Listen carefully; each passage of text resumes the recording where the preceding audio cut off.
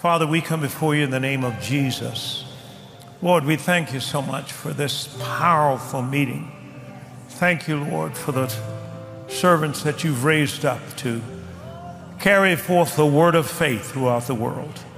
We thank you, Lord, for the privilege of being able to stand before your people.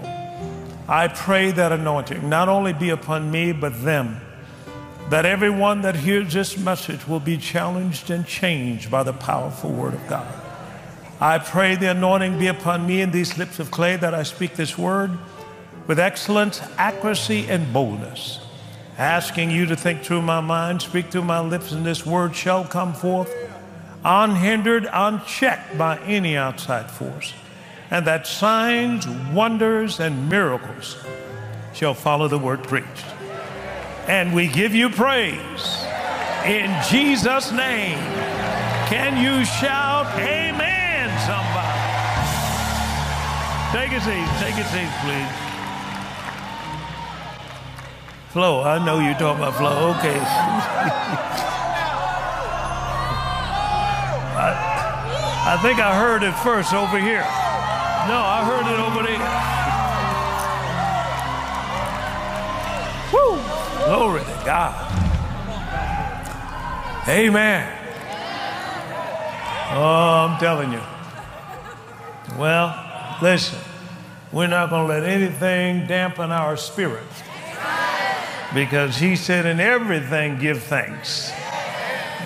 And we're going to give thanks today in Jesus' name. I'm going to put this right down here. Amen. All right. Well, did you come for the word this afternoon? I flew in just a few minutes ago to bring you the word, too. Amen.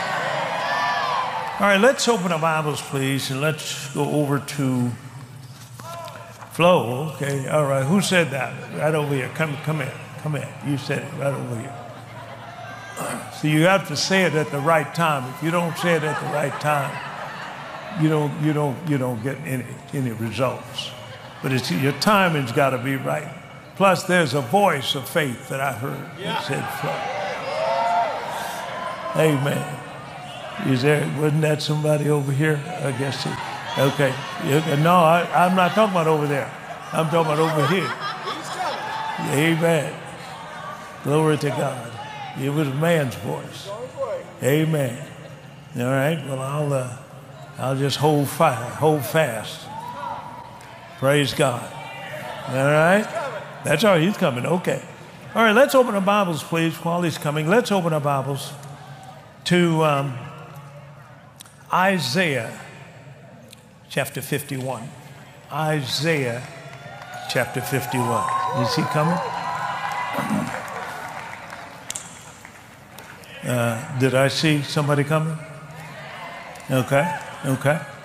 All right. We, we're going we're gonna practice social discipline. discipline.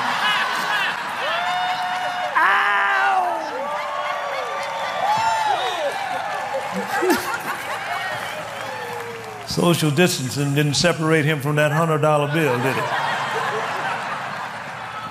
All right, Isaiah in chapter 51. Um, now, he says here, starting at verse 1 Hearken to me, ye that follow after righteousness, ye that seek the Lord, look unto the rock of which you are hewed, and the hold of the pit which you are digged. Look unto Abraham your father and to Sarah that bare you, for I called him alone and blessed him and increased him. For the Lord shall comfort Zion, he will comfort all her waste places, and he will make her wilderness like Eden and her desert like the garden of the Lord. Joy and gladness shall be found therein, thanksgiving and the voice of melody. Come on down to verse 16. I have put my words in your mouth. I have covered you in the shadow of my hand, that I may plant the heavens. Say, plant the heavens. And lay the foundation of the earth and say to Zion, Thou art my people. Let's go over now to Matthew's Gospel, chapter 15, please. Matthew chapter 15. All right, Matthew chapter 15. I'm going to start reading here at verse 12. Then came his disciples, and they said unto him, Knowest thou that the Pharisees were offended after they heard this saying?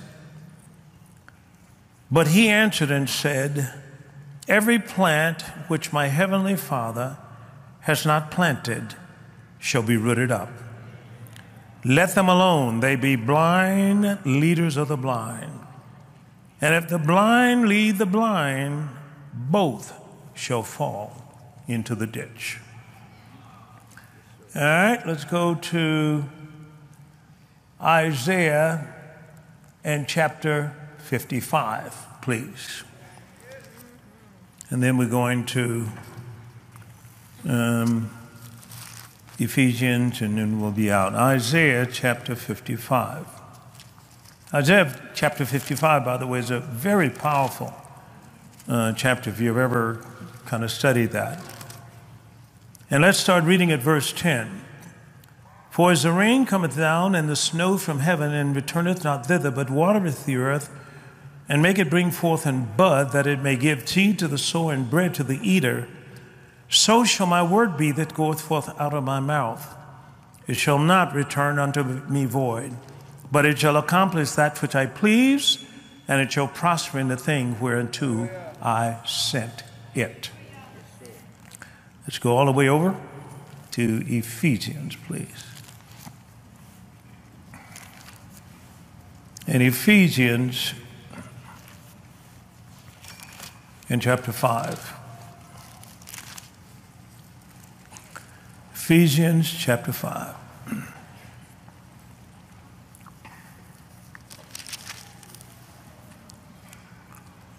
Okay.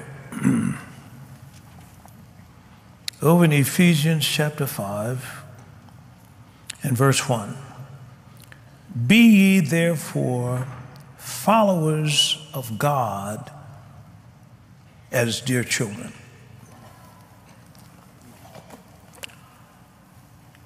Somebody have the iPad or something like that. Yes, sir. Yeah, you got one. You got one. Yes, sir. All right. Um, you got a microphone over here that I can use here. Praise God. He's going to get me one very quick. I want to see the amplified. Oh, on that scripture. I guess they can put it up there. Praise God. But I want you to read it. Okay, just a minute. This, I want you to catch this. Because, if you will, read that scripture in the Amplified translation. Therefore, be imitators of God, copy him, and follow his example as well beloved children. Imitate their father. All right? Read it again. Therefore, be imitators of God, copy him, and follow his example as well beloved children. Imitate their father. Read it the third time. Therefore, be imitators of God, copy him, and follow his example as well beloved children. Imitate their father. Can I get it? One more time. Yes, sir. Therefore, be imitators of God. Copy him. Follow his example. As well beloved children, imitate their father. Here's a little something for your help. Thank you. Now, it pays to have the Word of God. Now, interestingly enough, as he read that, he got more demonstrative. I'm talking about imitating God. Isn't that powerful? Imitate God. You start thinking about God and the nature of God and so forth and so on, and that He's telling you, Paul is saying, imitate God. Your Father. Copy His example. Isn't that powerful? So you and I have, this is not a suggestion. This is a mandate. This is what we're supposed to do. We're supposed to act like God. So as we look at this, I want to start here and I'm going to roll right through this. We're going to take a little break in the middle and we're going to receive an offering and then we'll go right back into it. But we're going to call this becoming fruitful. Becoming fruitful. My wife, um, right on the back patio of the house, she has grown some tomatoes. And uh,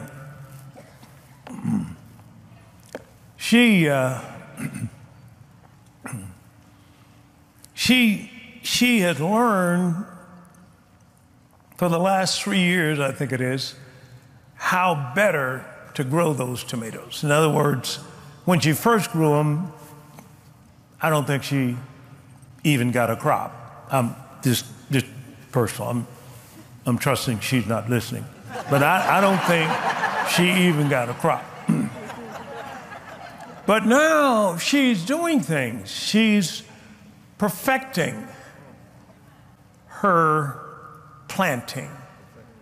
And she is now planting, and she starts with a little twig, and she's taking the soil and she's, you know, perfecting the soil by taking um, eggshells, crushing those, putting them in the soil, put some other things in the soil, and so forth. Um, and then she planted them, and and now this thing is starting to grow. And I said, Wow, that's something. Now I want you to go to John chapter 15, if you will. Over in John's Gospel, chapter 15, because it seems like most of what Jesus taught, he used the examples of nature to communicate what he was teaching about. And he says here in John chapter 15, I'll say starting at verse 1, he says, I am the true vine, my father is a husbandman. Every branch in me that beareth fruit, he taketh away. Every branch, every branch in me uh, that, uh, that beareth no fruit, he taketh away. And every branch that beareth fruit, he purges it that it may bring forth more fruit. Now you are clean. Just a minute, let me get my papers straight here.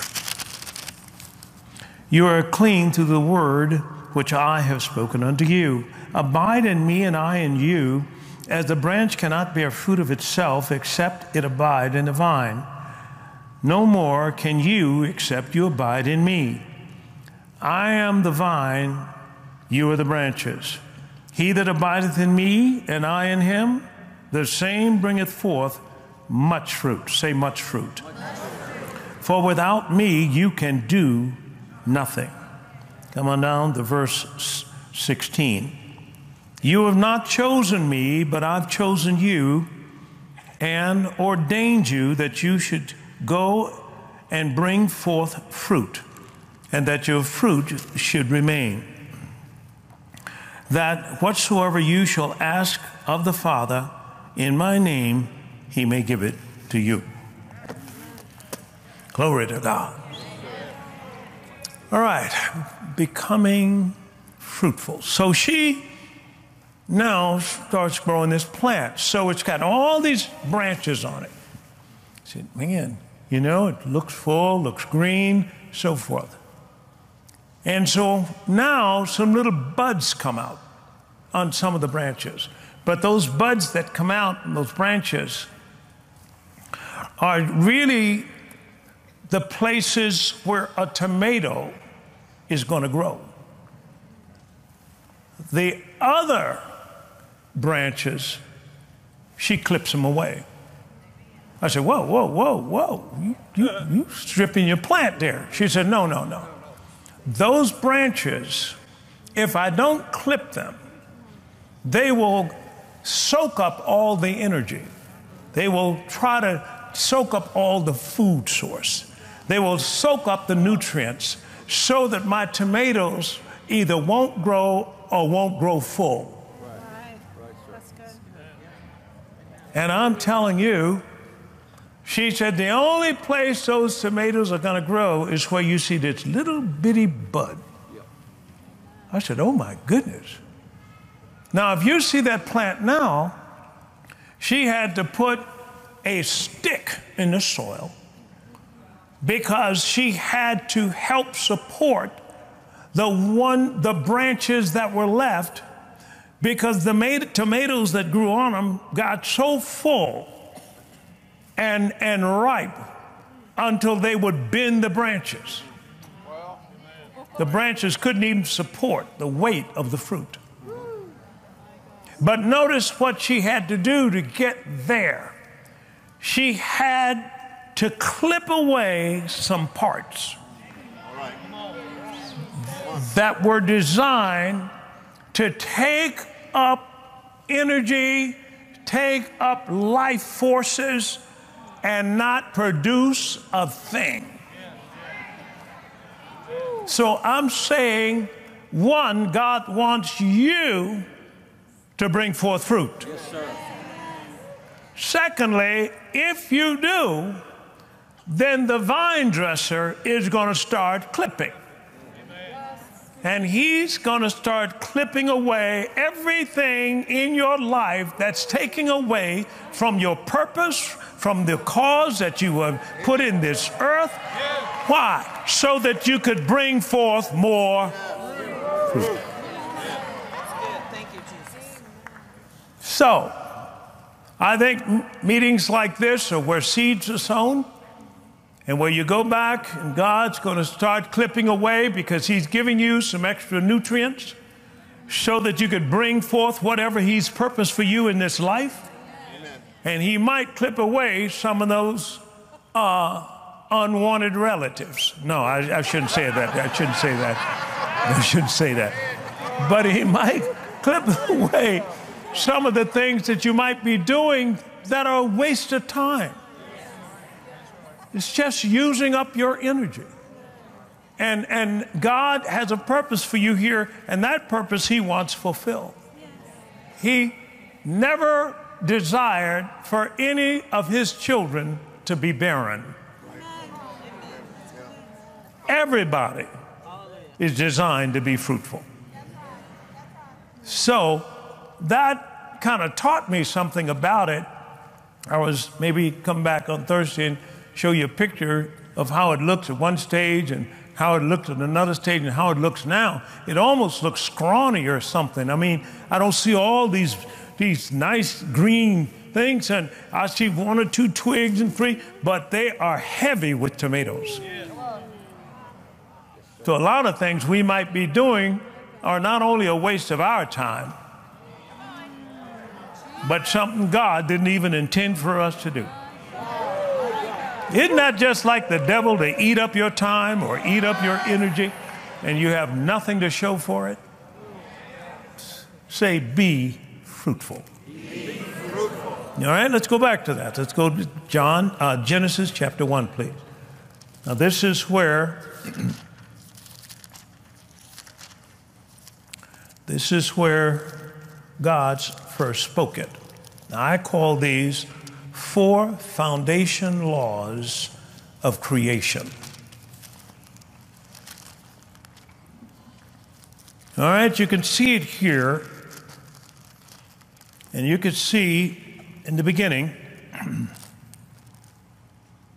And in the beginning, God created, verse 1, the heavens and the earth, and the earth was without form and void, and darkness was upon the face of the deep, and the Spirit of God moved upon the face of the waters. Notice nothing was happening.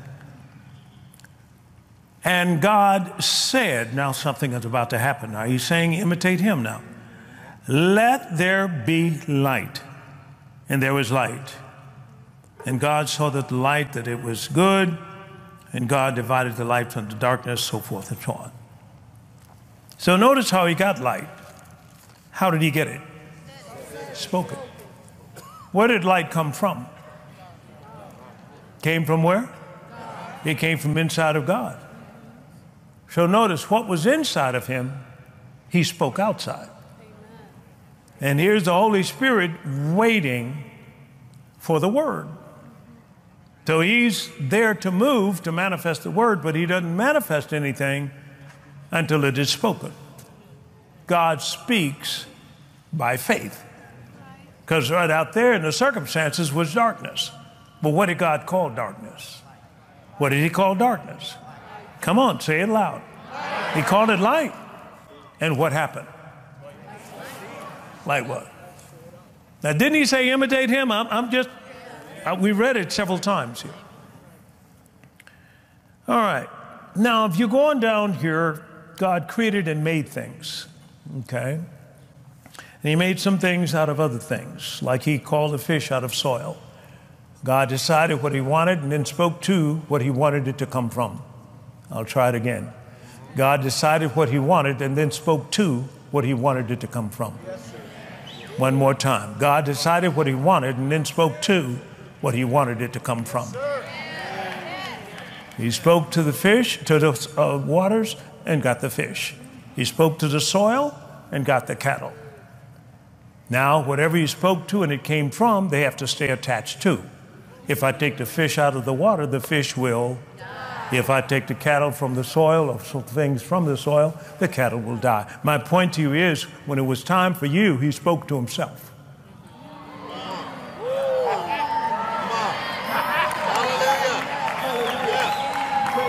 And if you separate from your source, what will happen? Will die.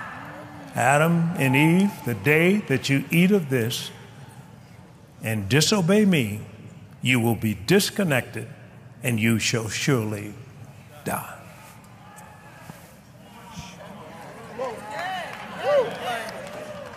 Isn't that good? So I'm saying to you, that's why we got to get everybody reconnected. Because a lot of people are dead men walking. So what we've got to do is get them reconnected before they leave this earth. Evangelism is extremely important. That's part of fruitfulness for a ministry. All right, let's keep going. let's go down to verse 26. And God said, Let us make man in our image after likeness, and let them have dominion over the fish of the sea, over the fowl of the air, over the cattle, and over all the earth, and every creeping thing that creepeth upon the earth. Dominion. To rule it, to reign over it. Yes. It implies stewardship. Dominion even implies ownership. Now, I put some definitions down here. I looked it up in the Webster 1828 dictionary. You might want to get that. They even have an app for it now, so you can download it. But it's a dictionary, and that Webster takes that and uses scripture to define words. And so he said here, this word dominion, what does it mean? Sovereign or supreme authority. Sovereign or supreme authority. What does sovereign mean? It means nobody is bigger, it means the top.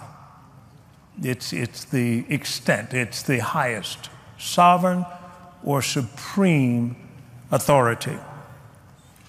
Dominion, the power of governing or controlling. The power of governing or controlling. Adam, I'm giving you the power of governing or controlling. Let's say that gets to the New Testament over in Matthew chapter 16, verse 19, he says, um, that whatsoever you bind on earth shall be bound in heaven. Didn't he say that? Another translation, CEV, whatsoever things you forbid or whatsoever things you allow, God will allow. Dominion. The right to the right to possess and use without being accountable. The right to possess and use without being accountable. Dominion. One more. Dominion. Power to direct, control, use, and dispose of at your pleasure. The power to direct, control, use, and dispose of at your pleasure. Uh, you two disciples, I want you to go in town. You'll see a donkey tied up there on time and bring him to me. If somebody asks you, What are you doing with my donkey? tell him the Lord has need of him and he'll let him go. Come on. Dominion. Whatever you need in this earth to get your job done, you got a right to it. Dominion. Dominion. Let them have dominion. Like what we were talking about ownership a few years ago, and um, Brother Copeland and I were talking. He said he had uh, ownership with stewardship responsibilities. What is stewardship? Stewardship says, uh, I've got to make sure that what I am responsible for is done or comes to pass. And if you look at Psalm 82, this is a good picture of stewardship. And verse 1 God standeth in the congregation of the mighty and judgeth among the gods. How long will you judge unjustly and accept the persons of the wicked, Selah. Defend the poor and fatherless. Do justice to the afflicted and needy. Deliver the poor and needy. Rid them out of the hand of the wicked. They know not, neither will they understand. They walk on in darkness. All the foundations uh, out of the earth are out of course. I have said, You are gods, and all of you are children of the Most High, but you shall die like men. In other words, if you don't know who you are, you're going to die like a natural man. You should never, ever allow any thought from this day to come into your mind that you are only human. You should reject every thought that you are only human. Now, once you're born again, you have just moved into another category. I said, once you're born again, you have just moved into a whole nother category. You have just become unstoppable. You have just become invincible. Hallelujah. You cannot be touched. Hallelujah. Say amen to this. Now, what, what, what, what's, what's happening here? Why, why aren't we walking like this? Let's go back over again to Matthew chapter 15. And over in Matthew's Gospel, chapter 15, he said this, and I'll start reading here again. I'll get to it sometime, praise God. He says here in 15, starts reading at verse 13. But he answered that every plant which my heavenly Father has not planted shall be what? Rooted up. Rooted up. Rooted up. So there are plants that God didn't plant, or trees that God didn't plant. And a tree produces after its own kind. So now, when we go back over to Genesis, but let me, let me just talk about this a minute. So I've got in me a belief system. I believe something. What do I believe? I believe before I got born again that my parents raised me up and slept me in a bed that we were paying Sears and Roebuck. for. It's a good thing. I had a bed to sleep, comfortable. We were making revolving charge account payments. Are you with me? And I had some clothes on that we were still paying on. Boy, if, if they would have repossessed, well, let, let, I don't want to go there, but okay, but and all the time I'm saying we had a car, paying on, had a mortgage, paying on. Nope. That I found after I got saved was a tree. See? You see, if you, you, know, you know, okay, I, maybe I should back up. Can y'all take what I'm about to preach here?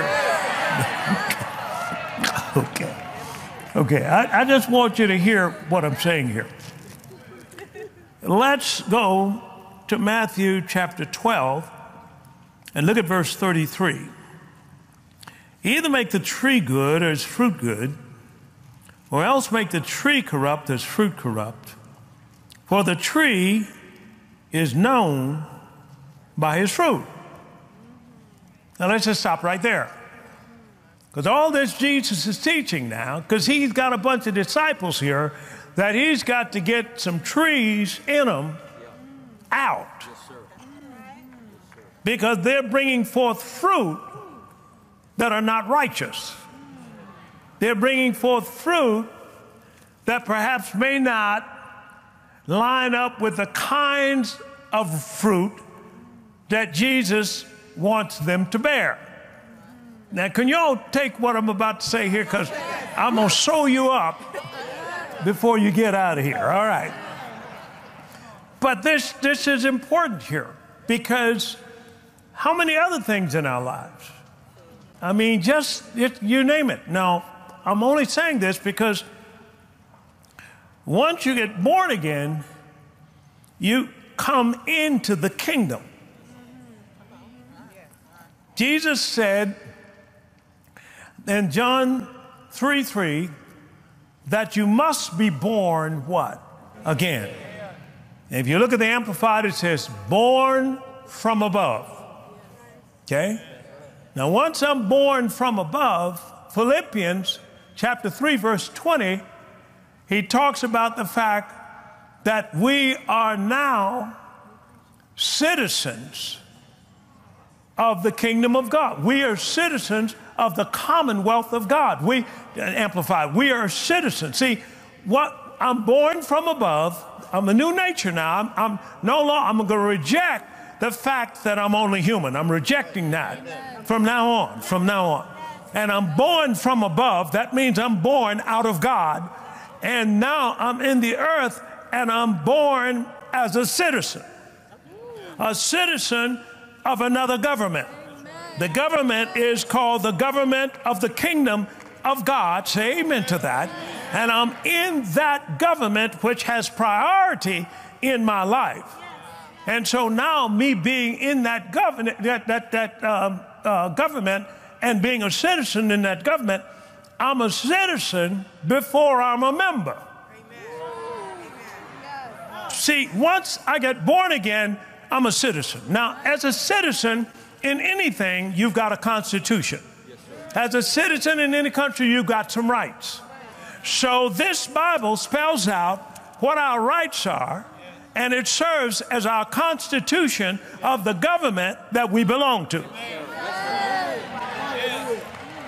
Now, Jesus said, You shall know the truth, and what will the truth do? It'll make you free of all the trees that were planted in you by the government that you and I were born from, which was a kingdom of darkness, and we were now in the kingdom of your dear son. Now, every tree and belief system that the enemy planted in our lives to hold us in bondage to that government have now got to be rooted up.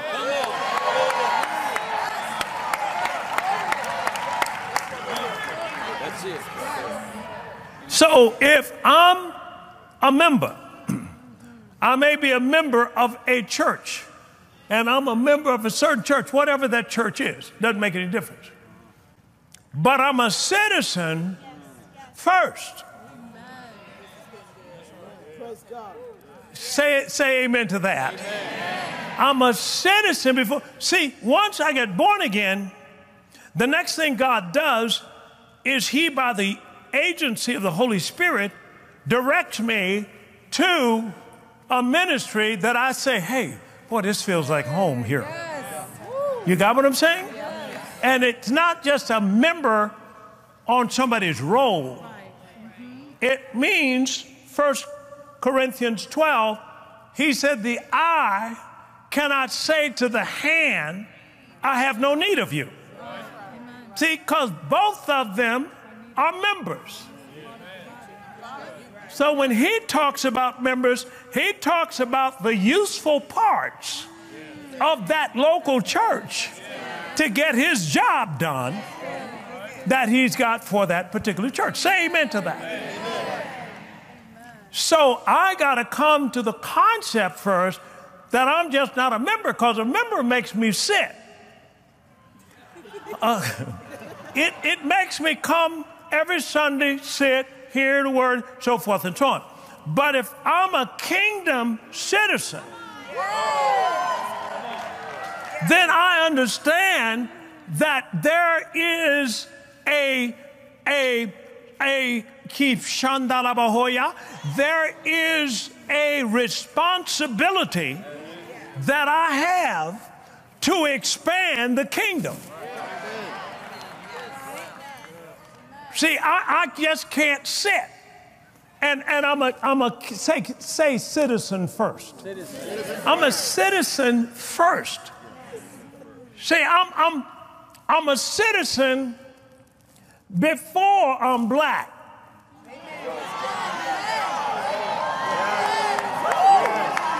Now, now, don't, don't, don't get mad at me, nobody, because I ain't got time for it.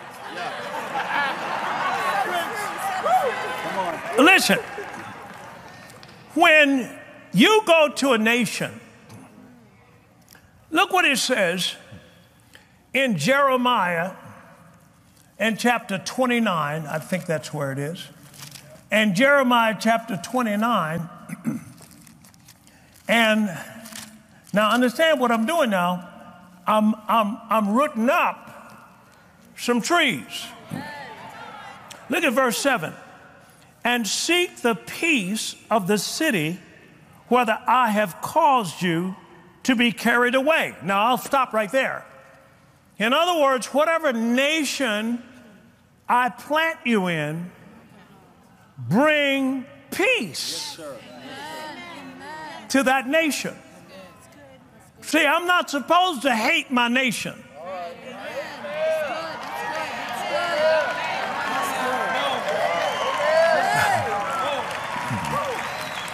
I have a responsibility to better my nation, to take my nation and help it meet its budget.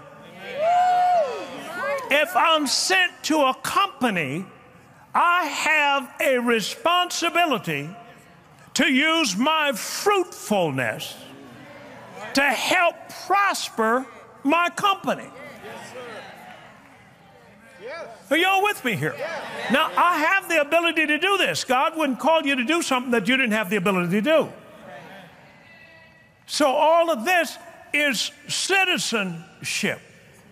See, if I'm, if I'm just if I'm just a member, or if I'm just a black man. Now, if if as an African American, I had only knowledge of my lineage as an African American. Suppose they threw me in the furnace like they did the three Hebrews. What would happen to me as a black man? I'll come over here. What would happen to me as a black man? I would burn to a crisp. But if I'm a citizen,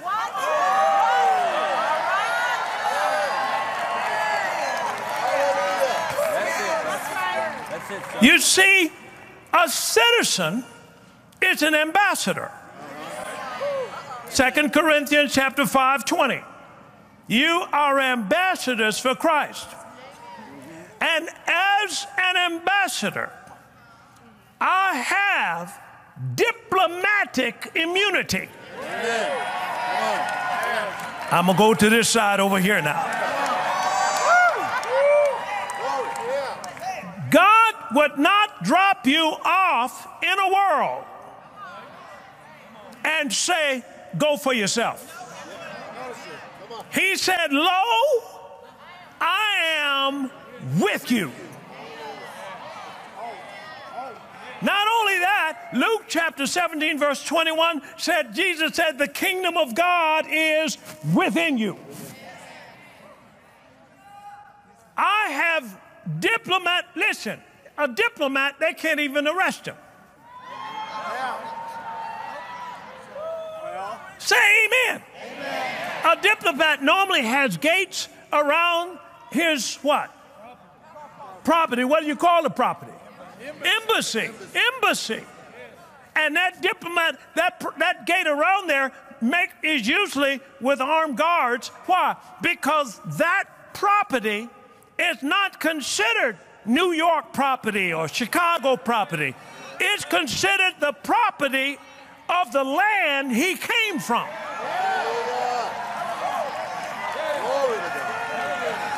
He says it like this in Psalm 105 touch not my anointed, and do my, come on, prophets no harm.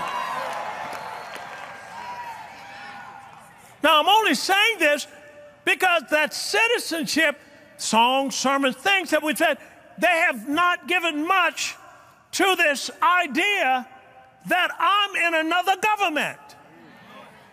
And so that image has not been in here, and God cannot move any further than you can see. He, he hit what? Glory to God.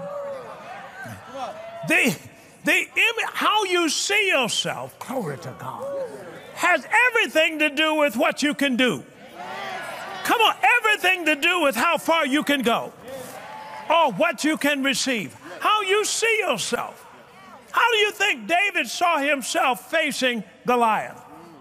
This is what he said This day will the Lord deliver you. Notice, you and God are a majority. See, all you got to do is write down what I'm saying. I'm giving you seeds. I'm, all, all you got to do is just come in contact with what I just said. That right there, if you get that, you got it made. See, I knew who I was when they said, uh, Pastor Winston, they're not going to let a black man buy this shopping mall. This, this whole area is prejudiced, they've redlined and so forth and so on. I say, who are you talking to? See, they were looking at the outside, but I,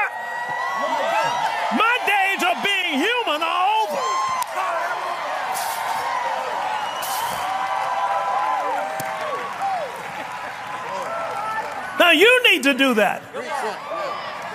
See, Gideon tried to work that on God. God, uh, uh, I'm the poorest in the tribe. I'm, I'm, I'm least in my father's house. I'm the, I'm the most illiterate and so forth. God said, quit all that talk. He said, I'm going to get you and have you to set Israel free as one man. Now, I'm just saying to you, see, you can shut down the power of God from moving through you by confessing something God didn't say about you. As an ambassador, my limitation is I cannot say anything that my country didn't tell me to say.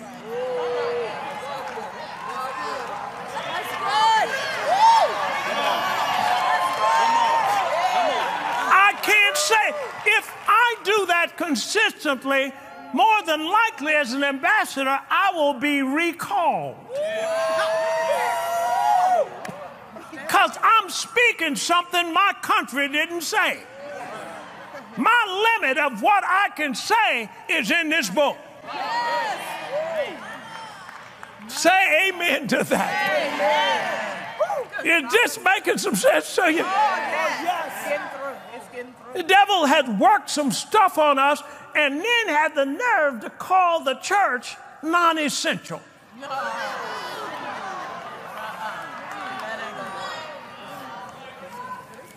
Is it the right group I'm talking to here? I got the right group, okay. No, no. That's why I've been teaching this, this kingdom thing, for years. Got books on it. Say uh, because I knew what, what we were missing. There are things you cannot do, there are places you cannot go, there are things you cannot receive without a kingdom mindset. Yes, sir. And what you're doing is you get new seed today. I'm, I'm, I'm a digging up that old tree. Say amen to that. And at the same time, we're cutting off some of these worthless parts so that you can grow full and strong and talk like God, man.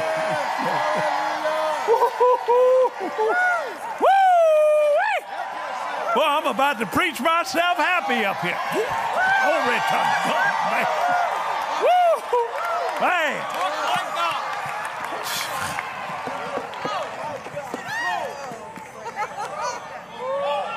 No, no. Wherever He assigns you, the kingdom of God is not in meat and drink, Romans chapter 14, but in righteousness, peace, and joy in the Holy Ghost. Jesus started preaching the kingdom. Mark chapter 1, verse 11, uh, verse 14. He came preaching the gospel of the kingdom, saying, the, the time is fulfilled, the kingdom of God is at hand. Repent and believe the gospel. Why? Because the kingdom of God is coming with a understanding that is almost directly opposite than the way we've learned things.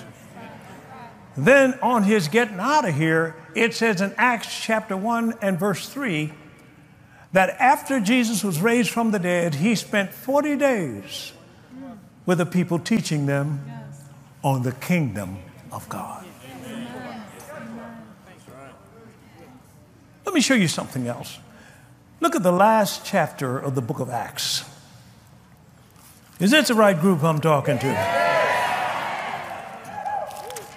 Last chapter of the book of Acts. Now, everybody has their part, and part of my part is to teach you on this subject, the kingdom. But look what he says here, starting at verse um, Acts chapter 28. Let's see, where have I got here? 27. All right, 28 and verse, that's Romans, verse 28. Okay, here.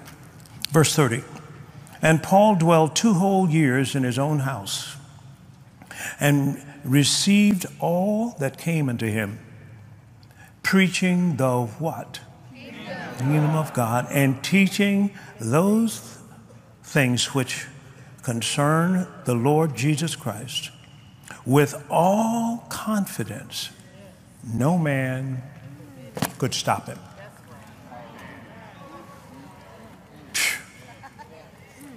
You are unstoppable.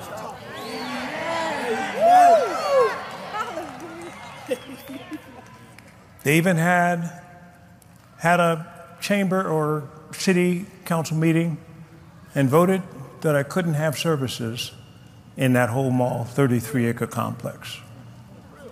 Guess how long that lasts? Because in the kingdom, you can change laws.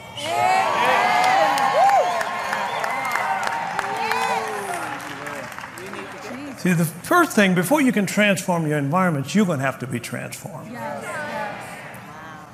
You, you can't transform something that you're conformed to. You have to be transformed. What you have to do is get the word, stand on it long enough for it to change you, and then you change your environment. So, I had to sleep in a bed that was, you know, and wear some clothes that, you know, thank God they didn't come get the things that, that we were paying on. Say amen to that. And that's the way I live, see? And what you can't do is in any place there's no condemnation. So you can't listen to me and get condemned. Because now faith won't work. See? And so what happened? I started coming to ministries like this and heard about people buying stuff debt free. Debt free. I buy a shirt debt free, but wait a minute. Now, understand, this is foreign to me because I got some trees in me that the master didn't plant. So, what do I have to do? I have to go in this book and get some new seed. Glory to God. I have to go in this book and get some new seed. Let's come back to Genesis, please. Is this the right group I'm talking to?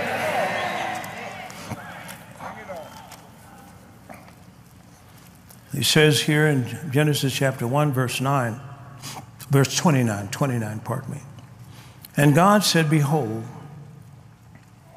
I have given you every herb bearing seed which is upon the face of the earth, and every tree in the which is the fruit of a tree yielding seed. To you it shall be meat or provision. So, how does God change us? Seed. He gives us seed. And over in Luke chapter 8 and verse 11, the seed is the Word of God.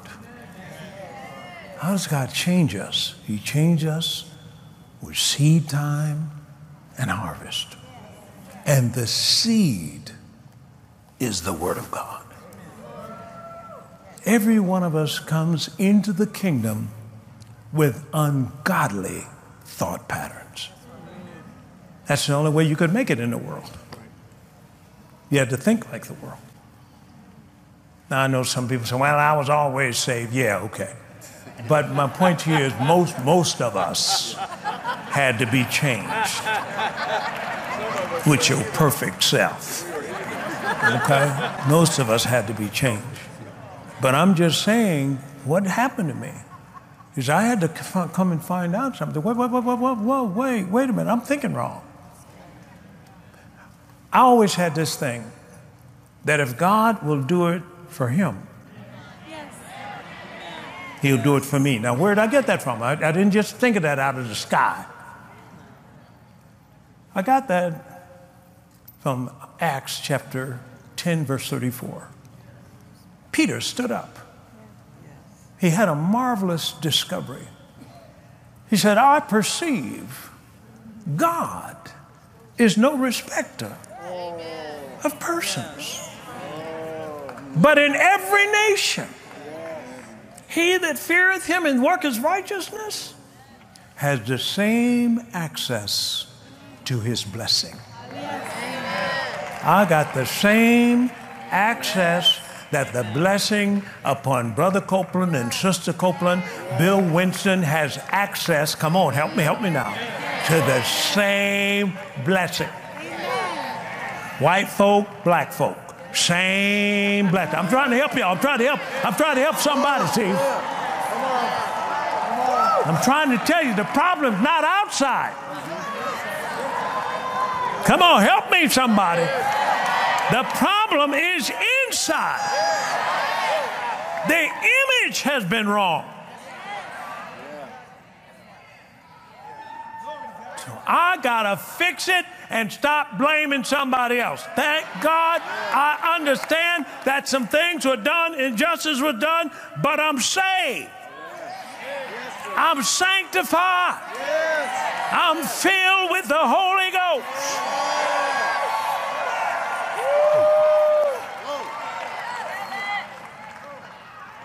You couldn't stop me if you wanted to. Boy, BW is preaching here today. Every time I look at, I look see somebody jerk. Oh, I know, I know that thing hits you there. Oh, make you ow.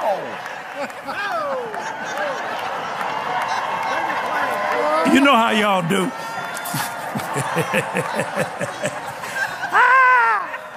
what am I saying?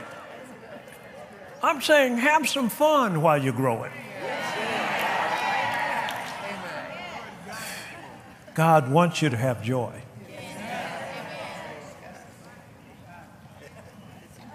See, when you know you're going to win,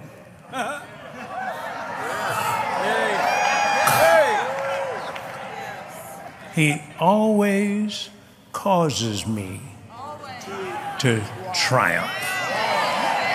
Second Kings chapter 2, verse 1. I'm not saying some things were not done right and so forth. But what you need to do first is get saved. And all of a sudden, the script gets flipped. that now you no longer are human. And your attitude and your demonstration should cause other people to want to get what you've got. Are, are y'all with me here? Because I was brought up in the South, I was brought in there. You couldn't go in certain places, you know, colored only, and you could go around the back so far. I've been, I've been there. I've been there. But I believe a lot of times people, I better not get into this. Uh, Preach it! Preach it! can, can, I, can I just go off just a minute here? What time, what time is it? Y'all got me going. Y'all, y'all got me going down there where I, where I plan to go. That's, that's not in my notes.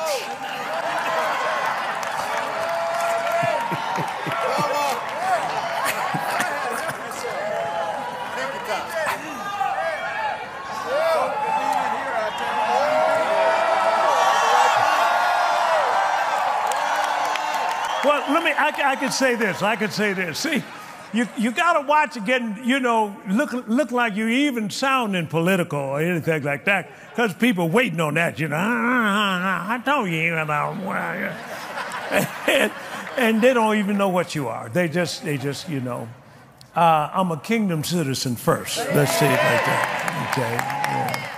Yeah. Amen. All right. So, no, yeah, uh huh, right.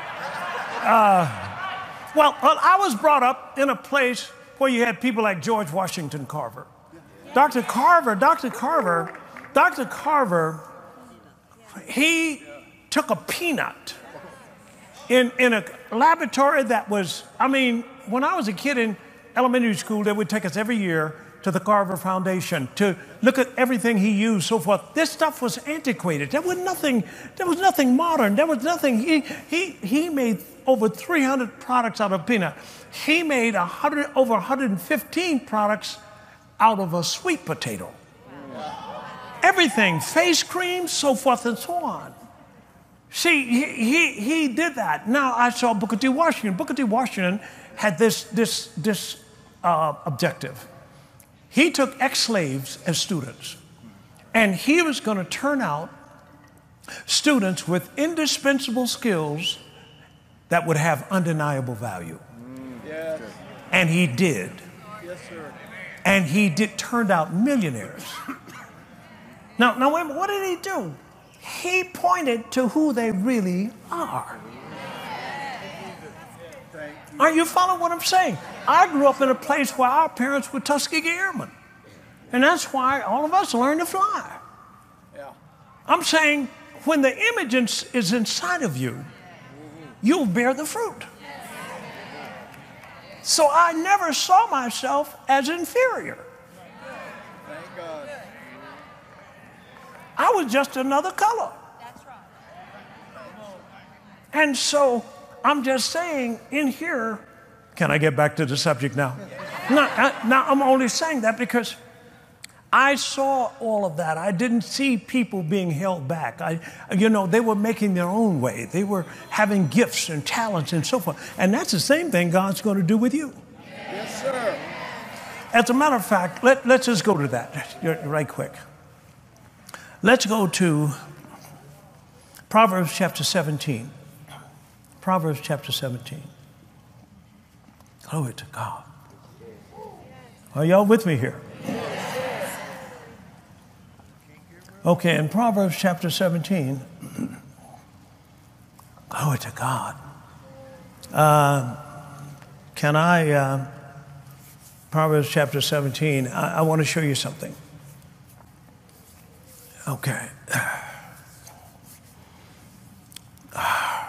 Can I just say a couple of things? Because I got to take a break here because cause they got to come in and we're going to receive an offering here. But let, let, me just, let me just say this. Let me just say this.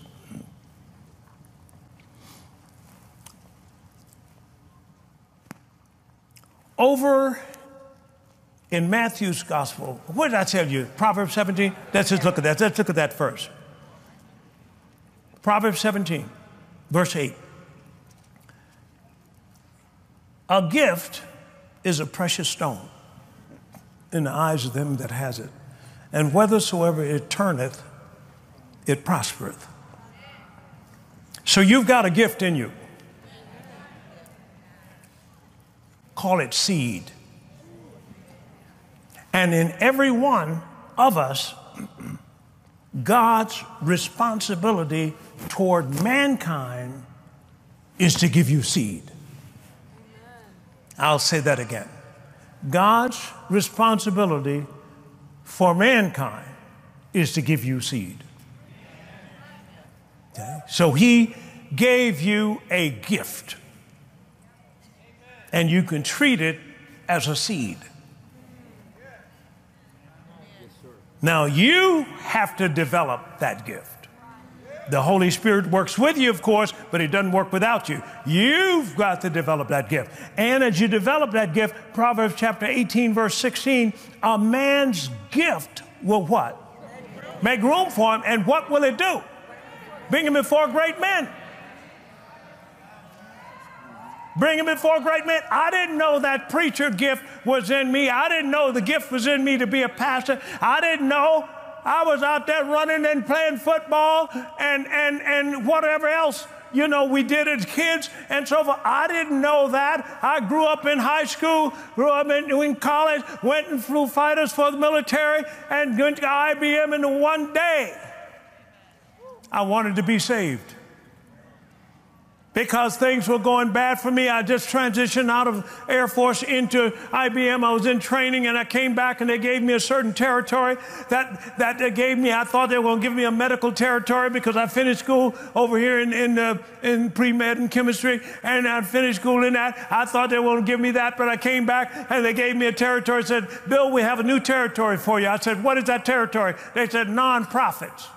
I said, wait a minute, listen to what you just said. Non-profits. I said, how am I supposed to make some money with a bunch of people that don't believe in profit? How do I do that? So what did I do? The tree inside of me, they're prejudiced, they don't like black people, blah, blah, blah, blah, blah, blah. But then I got saved. I cried out, God, something's wrong. I need you, Lord. You said, Lord, whoever believes in you, you'll help them. The next four days, a lady came by my place and said, Hey, Bill, you want to go with me tonight? I said, Yeah. She took me. I thought we was going to get down, you know what I'm saying? But instead of that, we got up and began to praise God. And the next thing you know, I got born again. But when I got born again, the scales fell from my eyes. I got born again in the kingdom of God. Now I could see things I couldn't see. Now I can go places I couldn't go. I took that area of association, I turned that thing around to the point I was making more money than anybody in the office. I'm telling you, I went from no man to top of the ladder in sales. And I'm saying God won't just do it for BW, whoever. He is no respecter of persons. Say amen to that. I'm listening to Charles Capps and Kenneth Copeland and Gloria Copeland and Fred Price and Kenneth Hagin. I'm listening to that, getting all that inside of me. I'm getting new fruit. I'm getting new trees inside of me. All of a sudden, I heard a man named Charles Capps said, I put all my debts on the table. I backed off of them and I said, Debts, I'm talking to you. I said, Wait a minute. If he'll do it for Charles Capps, he'll do it for BW.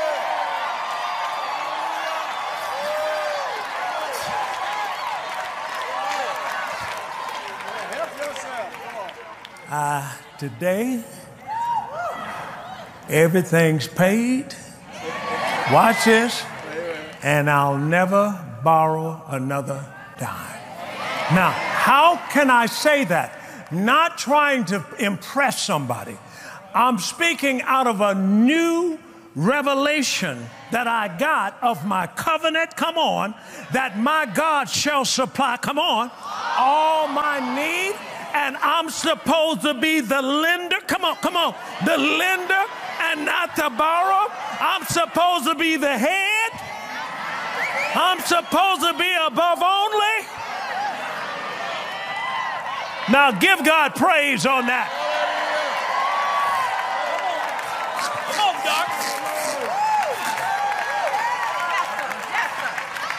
I'm here to tell you right now what he did for BW, what he did for Brother Copeland, Sister Copeland, what he did for Dr. Prout, he'll do it for you. I'm telling you, these people planted new seeds. New trees grew up. Trees are your belief system. And he had to grow up new trees in me concerning a marriage because I came, my mother and father divorced, and all that fighting and so forth. So here I got a woman named Veronica. She's just the kindest, just the sweetest thing you can, can mm, and just sweet. But about six months after I married, I said, something said, you done married the wrong woman. I said, Lord, have mercy. How can I get out of this one? I went to a faith meeting, got a little book by Ed Dufresne called Praying God's Word. Got that book, began to read it about my wife because I didn't need to read nothing about me. I'm okay. It's just my wife needs some correction. My wife is a virtuous woman. She always does me good as long as there's life within her. The bread of idleness, gossip, discontent, and self pity. She does not eat. She gets early, gets up early, and gets spiritual food for the house. She assigns her maids their task. She does not court neglect of her kingdom duties by assuming others. She opens her mouth with skillful and godly wisdom. In her tongue is a law of kindness. She gives counsel and instruction. The word is working mightily in our marriage. We've been transformed into the image of Jesus by the renewing of our mind. I closed the book and the devil said, That ain't true. Yes, it is true. Every word that I just shared with you comes out of the Word of God. I'm saying this is new trees. We put new trees in here. And today I got a marriage made in heaven. Now give God a praise. Let's take a quick break and I'll be right back. Praise God. Ha ha on the devil. We got him where we want him now. Woo! Glory to God. Take your seats for just a minute. Let me just give you a word. Glory to God. Y'all got me preaching, boy. Y'all. This group came down here hungry, boy. You'll. Hey. Bible says God pours water on ground that's thirsty. Isaiah 44, verse 3. All right.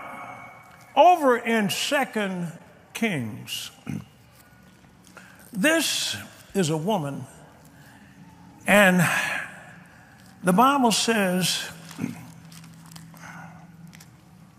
it says in 2 Kings chapter 4,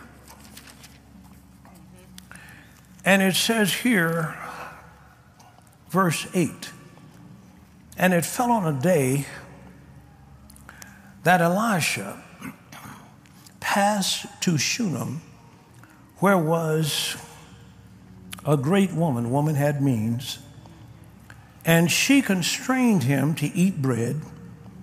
And so it was that as often as he passed by, he turned in thither to eat bread. And she said unto her husband, Behold, now I perceive that this is a holy man of God, which passed by us continually. Let us make a little chamber, I pray thee, on the wall, and let us set for him there a bed, and a table, and a stool, and a candlestick. And it shall be, when he cometh to us, that he shall turn in thither. Wow. The Bible says, she said, I perceive. Perceive.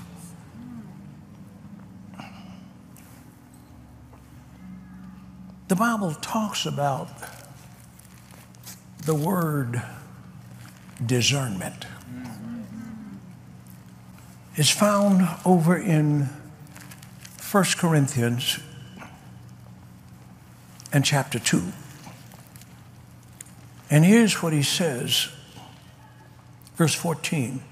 But the natural man, unsaved, unspiritual, receives not the things of the Spirit of God, for they are what? Foolishness to him. Neither can he know them, because they are what? Spiritually discerned.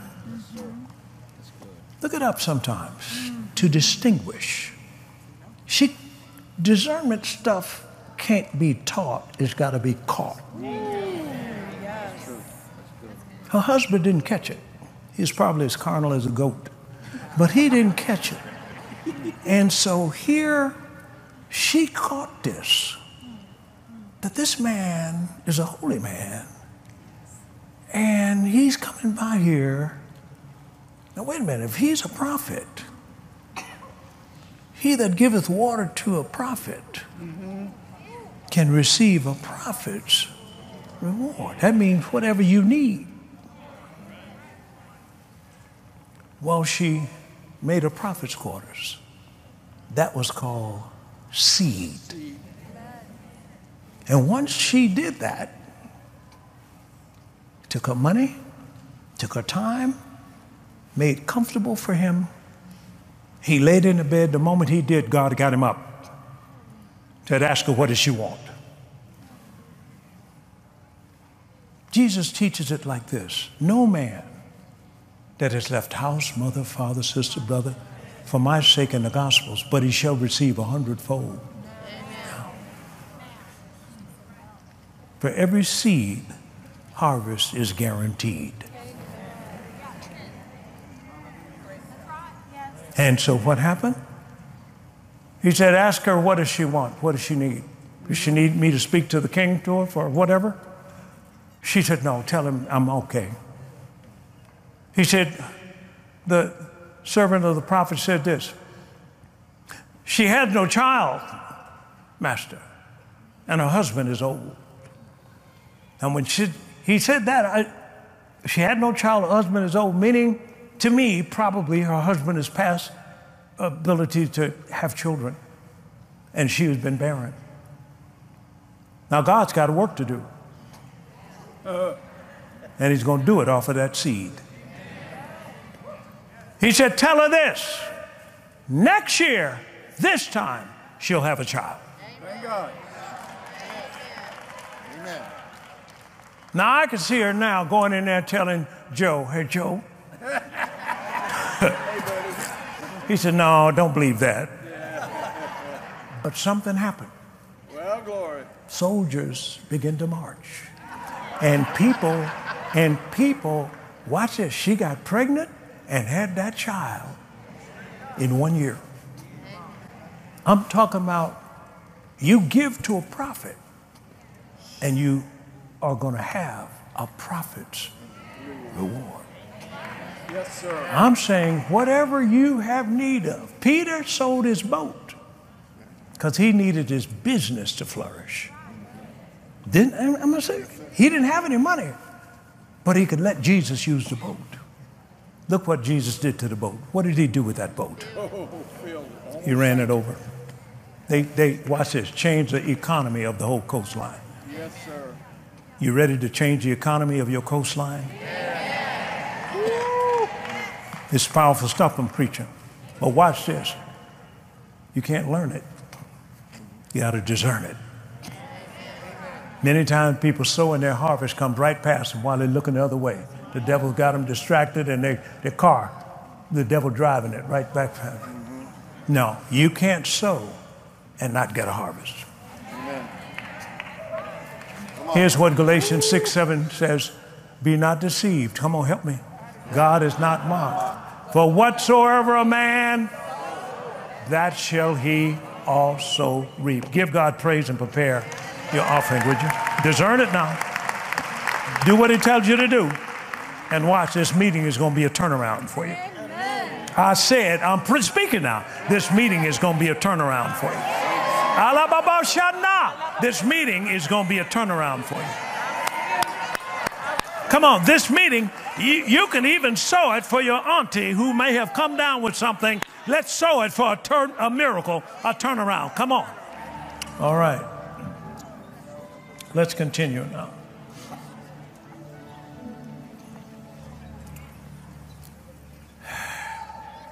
Flow. Okay, all right.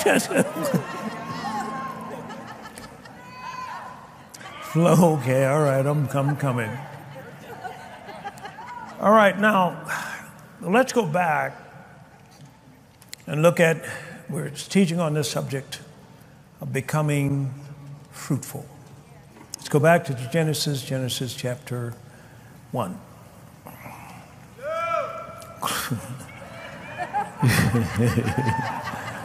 Genesis chapter 1. All right, look at verse 28. And God blessed them, and God said unto them, Be fruitful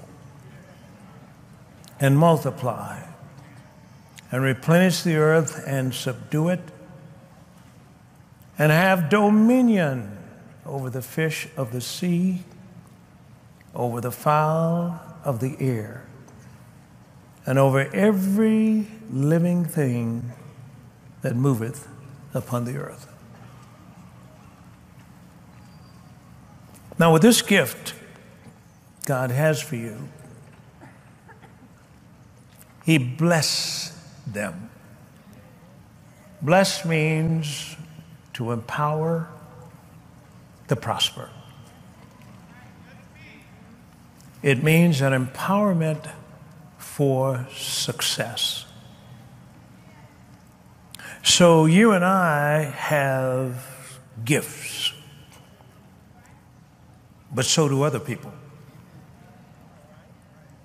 God never intended for us to compete. He said, dominate. So in Acts chapter 1 and verse 8, he's talking about this great outpouring of the Holy Ghost. And he says,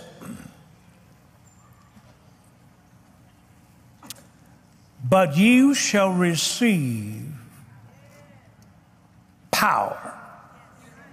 The word is dunamis or miracle working abilities.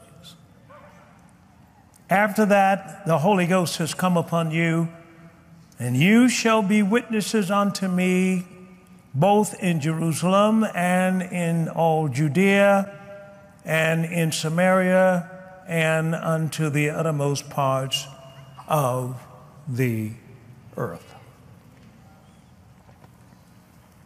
David says something over here in Psalm chapter 144. and verse 1. Blessed be the Lord my God, glory to God, my strength, pardon me, which teacheth my hands to war and my fingers to fight. Now, notice what he's counting on. He's counting on the blessing or the anointing to empower him to do what humans can't do. And when the Holy Ghost came on you, that empowerment came on you for your gift. He said over in Daniel chapter 1, verse 20,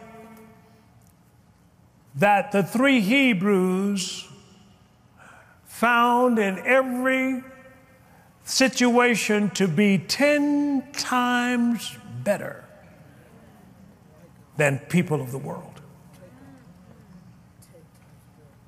I want you to look at Psalm. I've read this before here, but look at Psalm chapter 72 and verse 18. Bless be the Lord God, the God of Israel, who only does wondrous things. And look up the word wondrous or do a study on it. He has done great things, but he will do things such as none else can match. That's what's on you.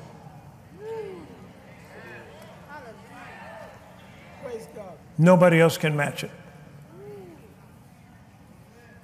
You know, they have different kinds of technology. One is just there's evolutionary technology, and they have uh, uh, incremental technology, and they have um, disruptive technology. Disruptive technology is like Martin Luther King. When he came in with that, that was innovative, by the way. And he came in with it nonviolent. And he's going to change the laws through nonviolence. Well, there was, there, was, there was wisdom in that. If you look over here in the book of Ecclesiastes, he said in Ecclesiastes here in verse 9, he says in verse 16, no, pardon me, in verse 18, wisdom is better than weapons of war. Wisdom is better than weapons of war. They interviewed um, his, one of his, the men that with him, Andrew Young, who was, rose to be a governor of Atlanta and also um, a ambassador for the United States. And I interviewed him, and it's what he said. he said, Martin said, we are going to change the laws without killing anybody. See? And you can get wisdom here and make things change without anybody dying. So I'm saying, whatever gift you have, it doesn't make any difference what gift that is. Watch this. By faith, begin to act on that gift. Watch this. And watch the anointing take over. Watch that anointing take over. That anointing is not something, it's everything. It's everything. That's why in Second Corinthians, he said uh, about that anointing, he said um, that uh, for the love of Christ constrains me. What does that mean? Christ is another word for what? Anointed one and his anointing. See, for the love of that anointing, it constrains me. In other words, where I would go off on somebody, I'd think about, I'm going to hurt my anointing. You got what I'm saying here? So I'm only saying that because here, like I showed you, that wisdom has children. and these children are ideas. They're ideas. So the ideas come from God as a seed and produce children. And so, what you want to do is you want to get ideas from God, what God has to do, because everything God has to do is going to bring heaven to earth. And Jesus said, Pray this way Thy kingdom come, thy will be done. Where? On earth as it is where?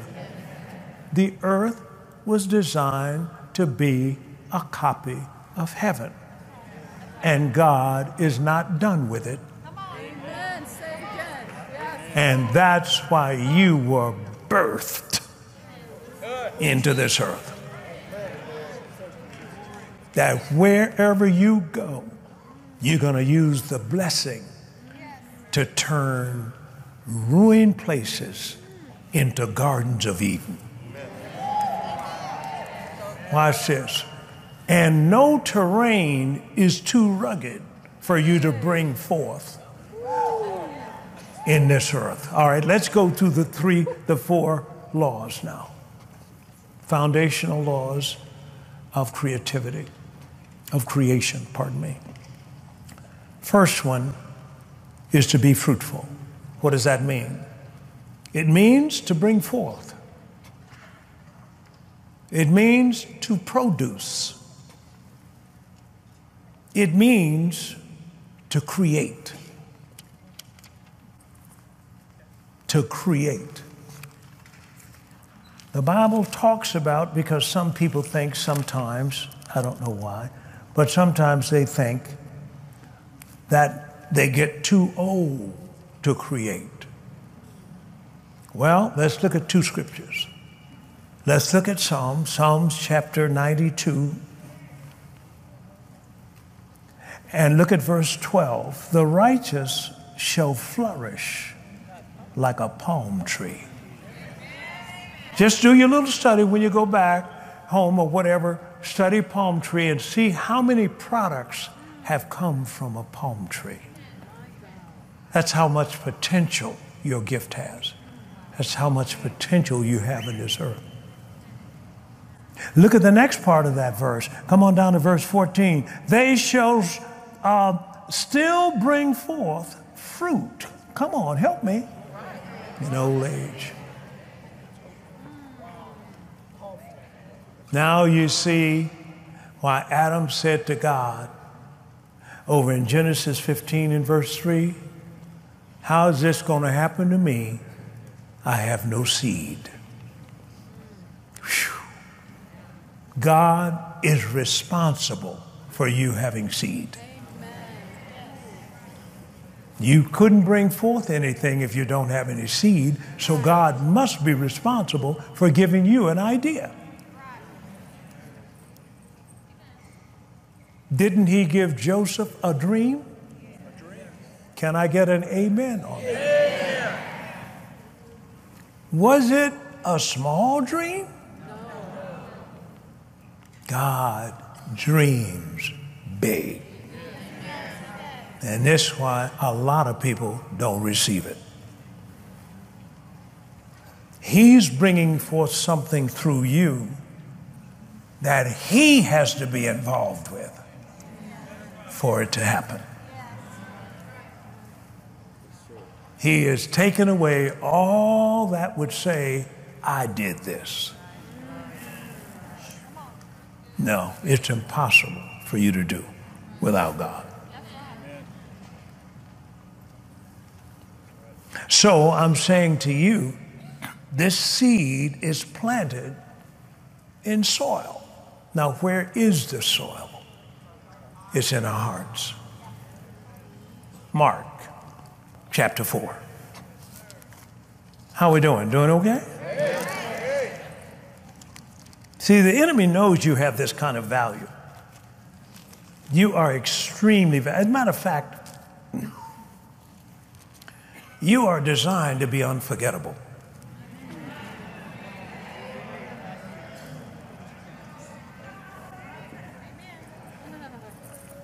Look what he says here in Mark chapter 4, verse 14. The sower soweth the word. Isn't it something how he gives all these descriptions of the types of soil, but he doesn't say anything else about the seed? Because the seed, according to 1 Peter chapter 1 and verse 23, is incorruptible. It's perfect. Man, farmers can't do that. They have to work a crop year after year to get the best seeds. They, they, they take the seeds, they sow them, they get a harvest. They take the harvest, take the best seeds from it, and they store those. Some of the others, they, you may use them for other things. But each time they're trying to perfect better harvest. God is already perfected. This book has your seed. I'm telling you right now, some of y'all better start sleeping with a pad and pencil by the bed. You see, we're in, we're in wealth transfer time. And one of the ways you're going to get it is by ideas. Let's go to verse 20, 26. And he said, So is the kingdom of, of God, as if a man would cast seed into the ground and should sleep and rise night and day, the seed should spring and grow up. He doesn't know how. Glory to God. First, mm, mm, mm, and should sleep and rise and grow up, he doesn't know how. He should sleep and rise and grow up, he doesn't know how. First, um, for the earth bringeth forth fruit of herself. First the blade, and then the ear, and after that the full corn in the ear. But when the fruit is brought forth, immediately he putteth in the sickle, because the what has come? The harvest has come.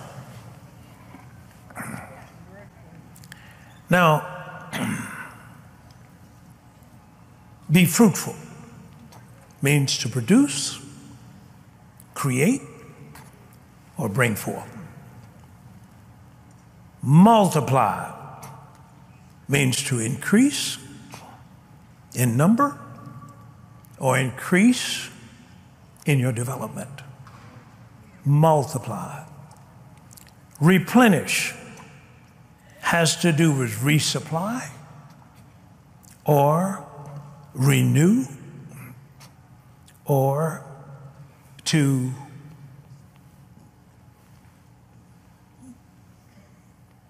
to re, um, replenish, re, restock. And the word subdue means to keep it under or control the market. Now, this is very key because everybody that is functioning over the world is follow, following these same principles. Right. Apple, iPhone 2, iPhone 3, iPhone 4, iPhone 5. Now people are lined up waiting on iPhone 6. And each time covering more market, taking more market share, each time improving the product and so forth. He's talking, that's the same way you're going to do. The way they're successful is they're following these principles. And I'm just saying that you've got to see yourself relevant and of value, that God needs that gifting inside of you. He needs you to do this. Why? Because you're going to replenish the earth. We, right now, look at some of the bad laws that are on the earth. Look at some of the things that are on the earth that are against God. I'm just saying, when you come in, you're going to make it so that this earth is going to be full of the knowledge of the Lord. Folks, the church is not going to be taken up out of here owing back rent. Forget that. Forget it. You're going to be a glorious church. So I'm saying with these things here, this is what he wants. So here I, when I was going to RU, God was really dealing with me about scripture. And I, in, in, you know, found this scripture in Isaiah. And this scripture talks in Isaiah 48 I am the Lord, thy Redeemer, the Holy One of Israel, that teacheth thee to profit and lead thee by the way that thou should go. I said, Whoa, I thought the church was non profit. God said to me, There's no such thing. He said, Even the man who I gave five talents to, he came back with five more. The man I gave two talents to, he came back with two more. The man I gave one talent to came back with the one talent, and I fired him. Because there's no such thing as nonprofit.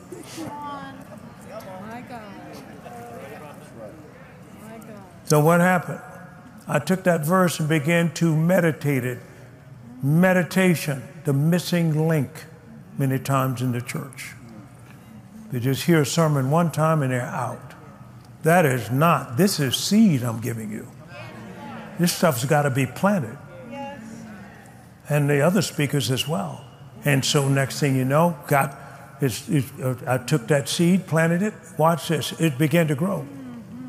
Next thing, it began to grow, and I began to get a revelation idea of starting something called the Joseph Business School. Then I got two people in the ministry. I was led to them.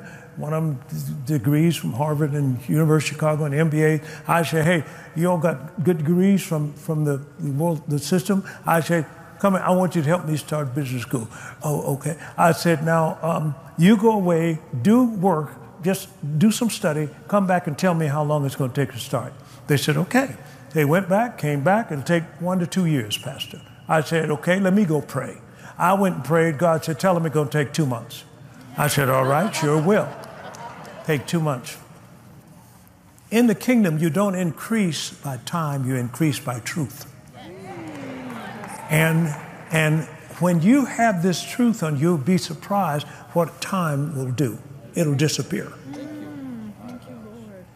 So I'm just saying, did that. They came back in two months. What happened? Once they took the prophet's word and began to act on that word like you act on the word of God that he'll give you, all of a sudden doors open up. Somebody says, Hey, I got a complete package that I wrote for a program over here. You can have that if you'd like. Took that, so forth and so on. People came from everywhere. People to teach the class, so forth and so on. Right now, the class is in five continents.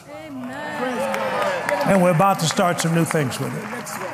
I'm not bragging on me. I'm saying be fruitful.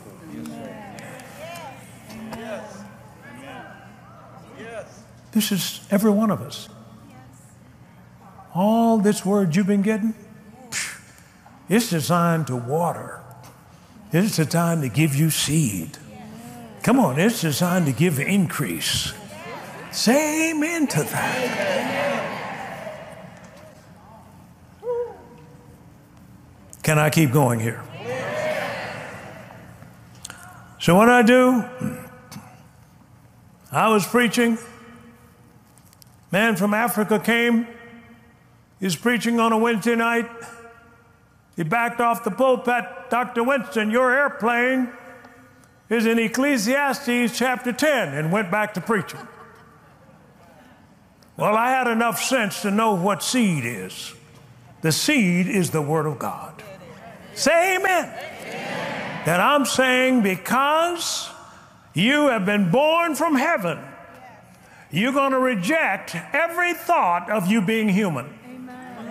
You're going to act just like God. Yes, and for God to get light, He called it, didn't He? Yes. And He already had it inside and spoke it out.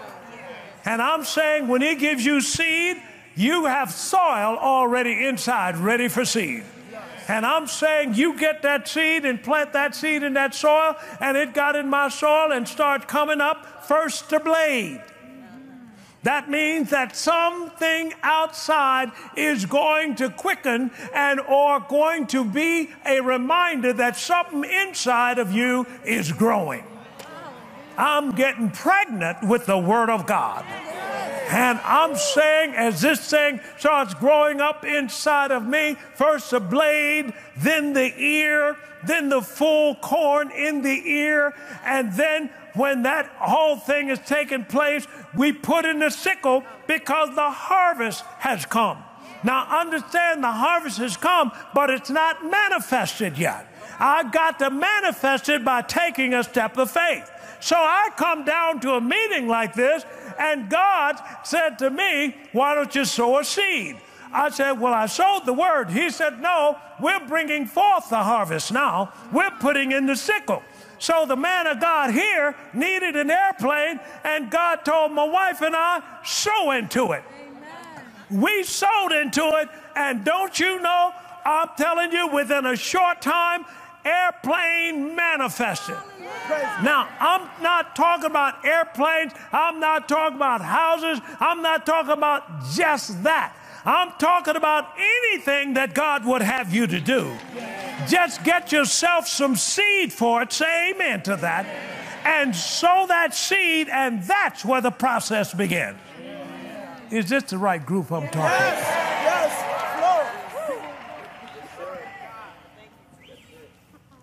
Now, the last thing.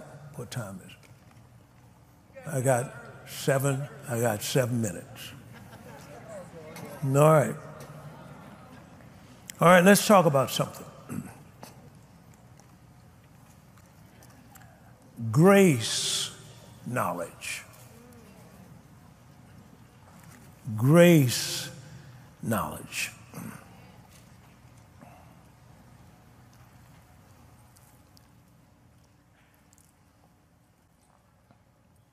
I've got to get my thoughts from somewhere else.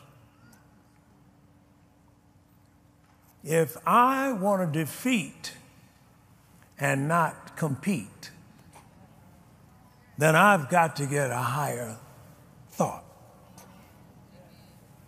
And where am I going to get it from? The Word of God. God's going to give me a thought that I think a lot of times a human can't think. Now, look what he says. Let's go to Isaiah. Isaiah 55.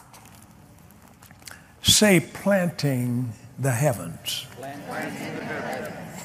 Now, are you, are you, are you hearing, are you hearing that? I mean, I'm, I'm saying that whatever I need, whether I need transportation for the thing, whether I need a building, so forth, I needed, uh, God said, I want you to buy that shopping mall. What, what, what, now, wait a minute. Wait, I don't have no shopping mall experience.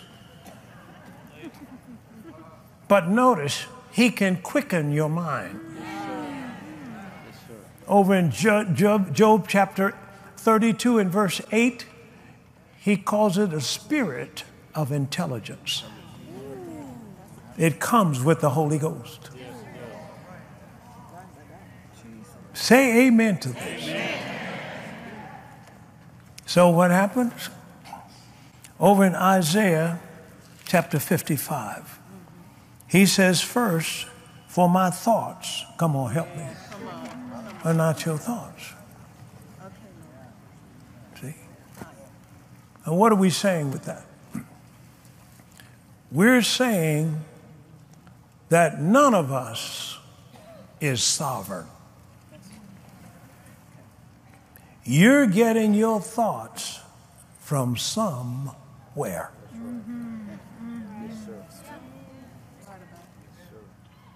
That's why all leadership is spiritual.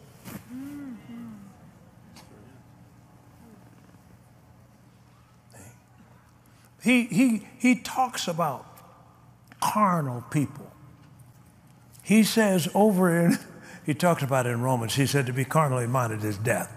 But I want you to see something over here in 1 Corinthians and chapter 3 and chapter 3 and look at verse, glory to God, over in 7. All right, chapter 3. Hmm, hmm, hmm. And let's look here at verse, these pages are sticking together. He, in verse 1, and I, brethren, could not speak unto you as unto spiritual, but as unto what? Carnal. Even as unto babes in Christ. For I have fed you with milk and not with meat. For hitherto you were not able to bear it, neither yet now are you able. For ye are yet carnal. For where there is among you what? Envying? Come on. Strife? Come on. Division. What's another name for division? Racism. Racism. If you got racism in you, you're carnal. Carnal as a goat. And you can't bring forth spiritual things with carnality. Is this all right if we talk if we talk like this? You can't bring it forth. See, don't look at me and think you might be another color than me, so you got more sense than me. That I can tell you right now, that ain't true. Yeah, I'm gonna tell you that right now. So now don't even quibble with that. I mean, that's you know, that's all. Okay, I shouldn't have said that, but that's all right. I put it on the book. no, no, you don't. You got to get up pretty early to beat me. Okay. Uh, where's that? Where, where am I talking about? Well, anyway. In, in Amplified, it says, You walk as mere men. So, no longer. From now on, you're going to reject every notion that you're only human. Every notion. So, look what he says, Isaiah. Let's just finish that up. He says this in verse 9 For as the heavens are higher than the earth, so are my ways higher than your ways, and my thoughts and your thoughts. Okay? So if I'm going to get a thought from God, I'm going to have to be ready. Because He's going to think what? Higher. Higher. He's going to think bigger. He's going to think beyond anything you think you have education to do, and so forth and so on. Get ready. Get ready. Because most times those thoughts are rejected. And next thing you know, those gifts. One man said, the wealthiest place in the earth is not, are not the oil fields of Kuwait or the diamond mines of South Africa. The wealthiest place in the earth is a graveyard. Because that's where all the gifts are buried. Look what he says here. He says, uh, where am I? Okay, here. Verse 10. For as the rain cometh down and the snow from heaven, and returneth not thither, but watereth the earth, and make it bring forth and bud, that it may give seed to the sower and what else? Bread to the eater. So shall my word be that goes forth out of my mouth. It shall not return unto me what? Void, but it shall what? Accomplish that which I please, and it shall what else? What else? prosper in the thing whereunto I sent it. Amen. Amen. Amen. Thank you for that. Hallelujah. Say amen to that. Amen. So now I'm going to take up from here next time, but I'm going to, we're going to talk about acting like God. Come on. Say amen to that. Amen. So I said, no, no, no. We had time for a prison program. We started our program. But before we started it, I just got on the steps of the congregation of the stage. I said, Hey, we are turning jails into boarding schools.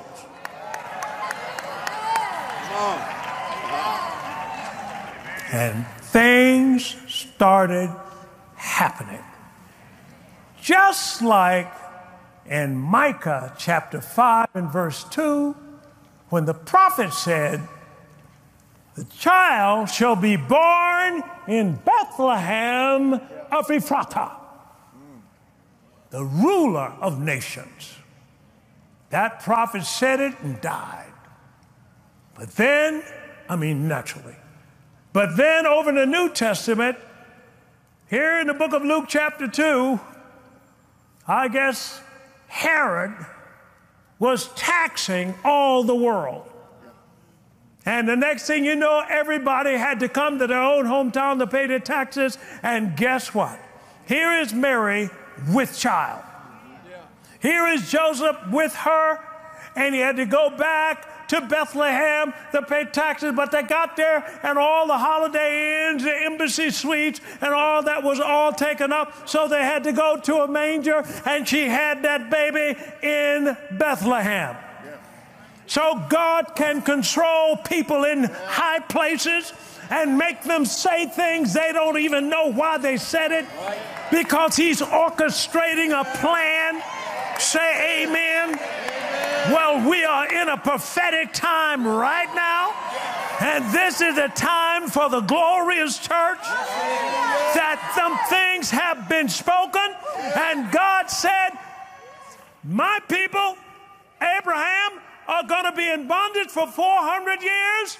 But at the end of 400 years, they're coming out.